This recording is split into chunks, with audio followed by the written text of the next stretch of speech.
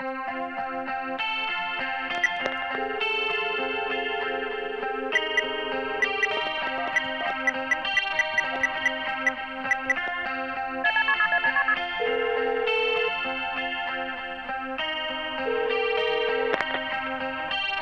office, good evening.